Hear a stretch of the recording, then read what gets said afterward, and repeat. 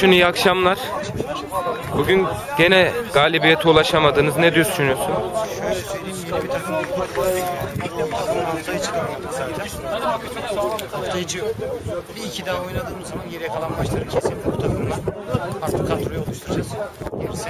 Kadroya yeni ilaveler yapmayacaksınız yani. Yok bu son değişimlerle sonra yeni bir ilave.